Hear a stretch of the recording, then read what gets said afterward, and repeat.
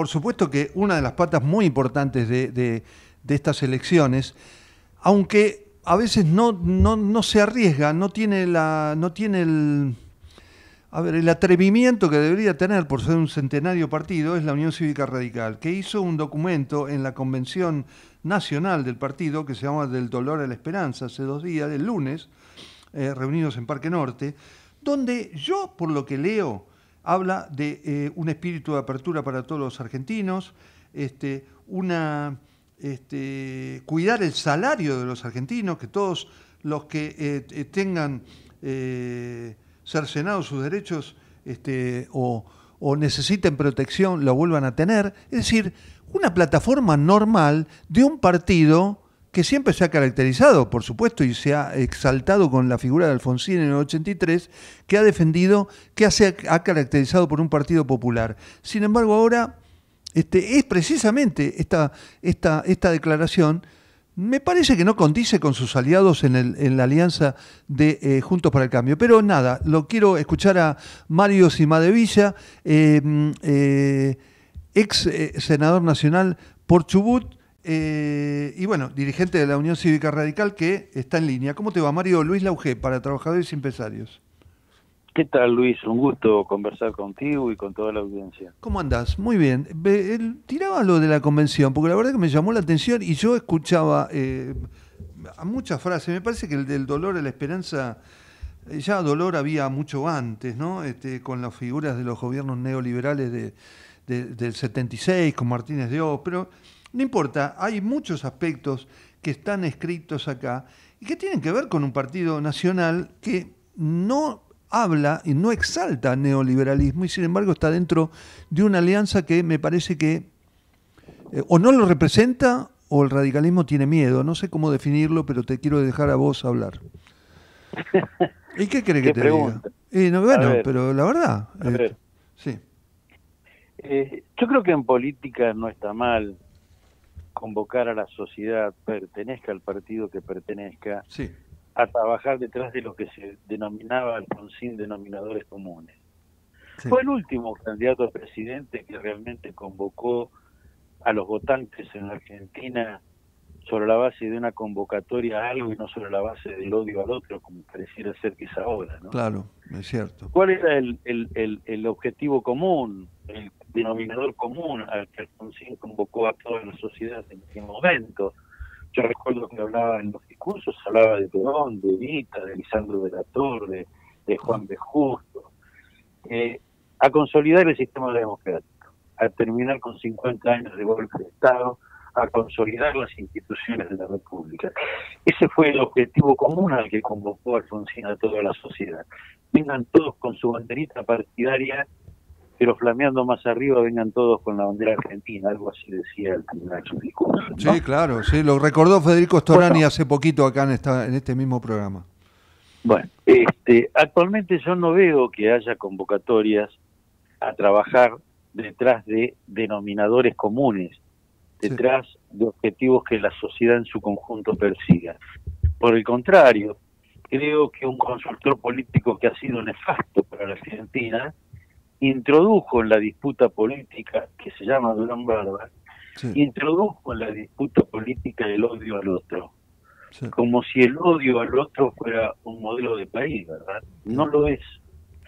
Y además en esta en este escenario político que está viviendo hoy la Argentina, donde aún dentro de las mismas alianzas hay peleas muy duras, yo no sé eh, si todos los que están en las alianzas, si pierde su sector interno, en la general van a votar al que gane. Yo qué sé si los votantes de Bullrich pierden, van a votar a otro representante de Juntos por el Cambio que pueda ganar, sea Morales, o la no lo sé. Veo que en el frente de todos también pasa algo parecido. Es decir, cuando ni siquiera podemos cohesionar los frentes electorales al que pertenecemos, y yo lo veo con mucha preocupación. A ver, eh, las alianzas deberían hacerse no solo por sumar votos desde el punto de vista electoral, sino porque haya coincidencias programáticas. Yo no he visto en la naturaleza que se crucen chimangos con lechuza. ¿eh? Sí, claro, claro, Acá queremos cruzar chimangos con lechuza. ¿Yo qué tengo que ver con Esper? Claro, por eso.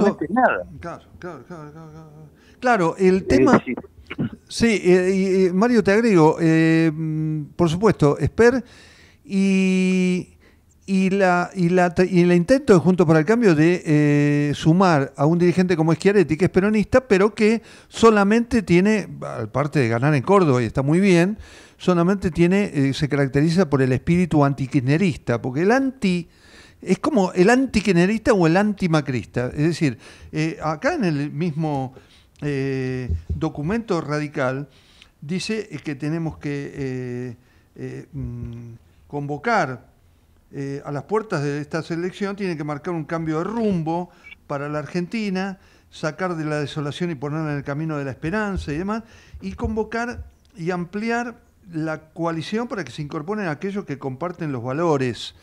Pero bueno, ahí está, compartir valores. claro, tenemos la misma tenemos la misma concepción los radicales que durante la presidencia de Iria jerarquizaron la educación con los mayores presupuestos que hubo, la del propio Alfonsín con los planes de alfabetización que llevó adelante.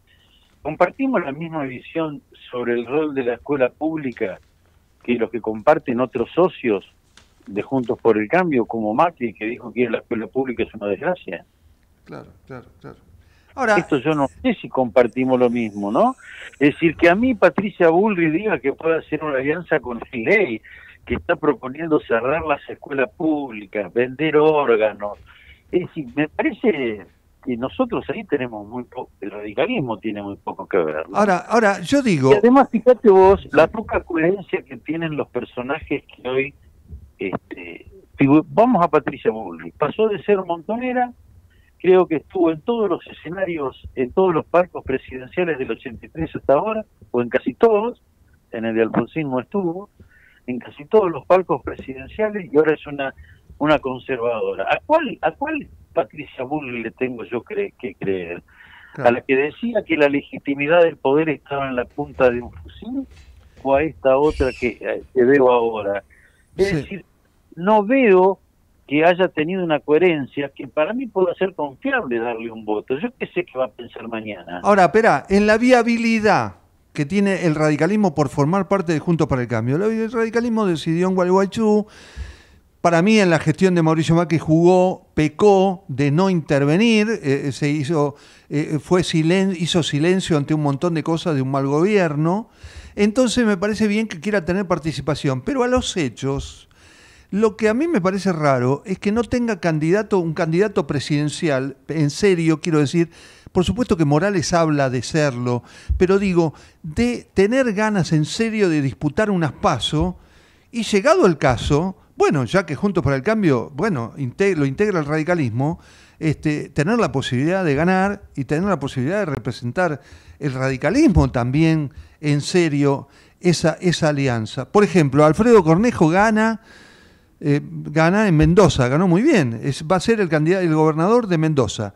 Lo hace en representación de Patricio Bullrich. ¿Por qué no lo hace en, presentación, en representación de la UCR? Y con eso discuten, eh, le discuten al PRO la supremacía de, esta alianza. No, no lo puedo entender. Bueno, vos me estás hablando a mí de Cornejo, que es el principal aliado que tuvo Néstor Kirchner en la elección, eh, Cristina Fernández de Kirchner Julio Cobos. Claro, claro, también, bueno. Claro, no nos olvidemos de estas cosas. ¿no? Claro, claro. A ver, a ver eh, yo creo que el radicalismo debe encarar, debe recuperar su individualidad para recuperar este, los gobiernos. No, fíjate que nosotros representamos, y esto es lo que a mí a veces no termino de entender de nuestra dirigencia, ¿no? Que terminamos más justificando los errores del gobierno de Macri que los aciertos de lo que hemos sido siempre siendo gobierno. Por ejemplo. Ah, qué bueno eso, ¿eh? la gente está hastiada de la corrupción, hastiada de la corrupción. Yo pregunto, de Irigoyen para acá, que fue el primer gobierno radical, Irigoyen, Alvear y Alfonsín, ¿qué, gobierno radical tuvo un solo acto de corrupción? Sí, por absolutamente ninguno. Absolutamente ninguno.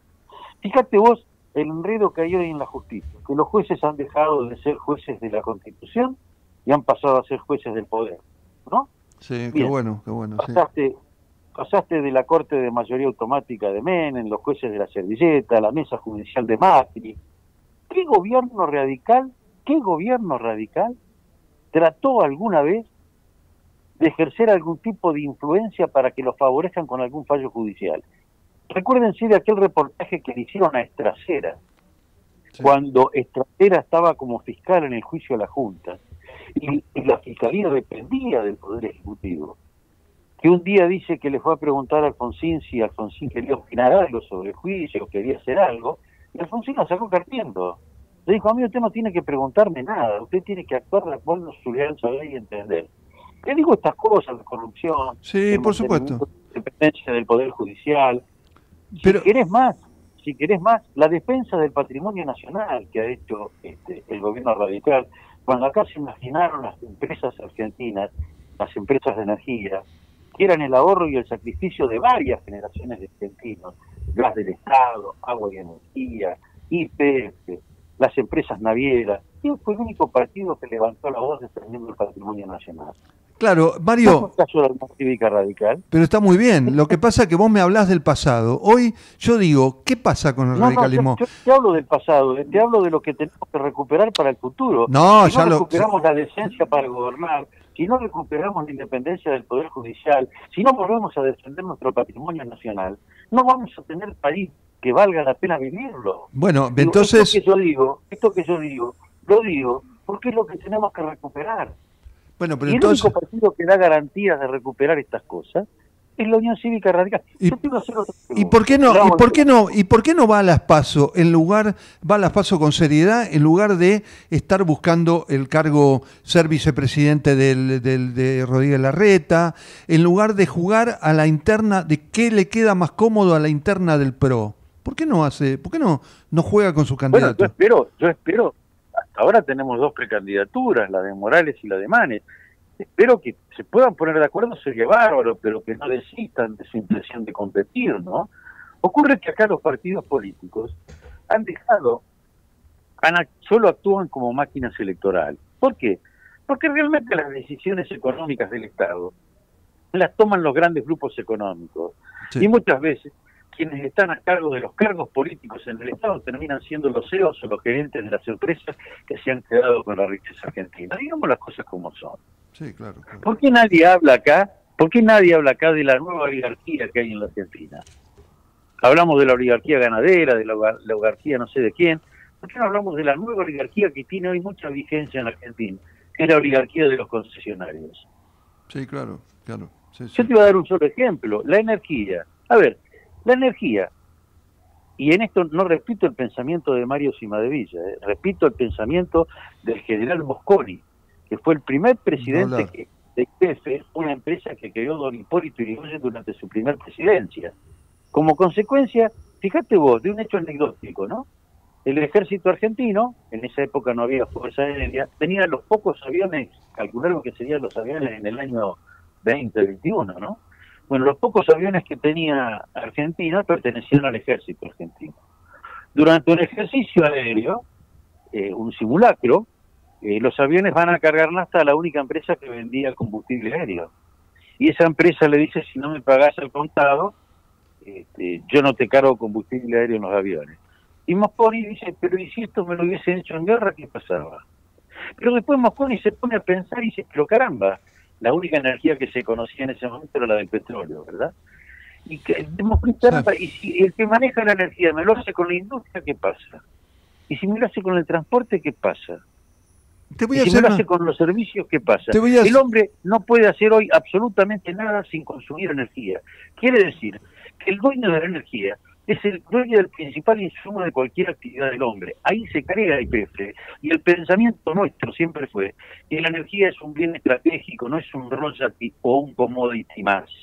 Yo no gano plata vendiendo energía, gano plata dando al mercado mucha energía accesible para que se desarrolle una economía y en ese desarrollo el país crece, no vendiendo energía como pasa hoy. Te quiero, te quiero hacer una pregunta concreta. Eh, eh, ¿El radicalismo va a ser, este, bueno, yo creo, me hago responsable, cómplice de un futuro gobierno. Yo no estoy juzgando eh, si hay que ganarle el kirchnerismo o no. Si el kirchnerismo tiene que perder, que pierda.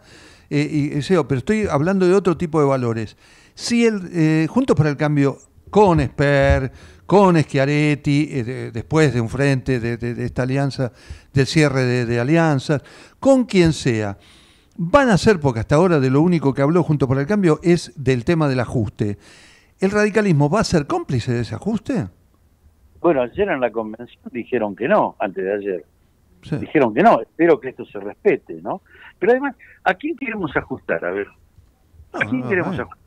No, por supuesto, sí, sí, sí. No, no, el ajuste ¿Qué queremos ajustar? ¿Los presupuestos educativos queremos ajustar?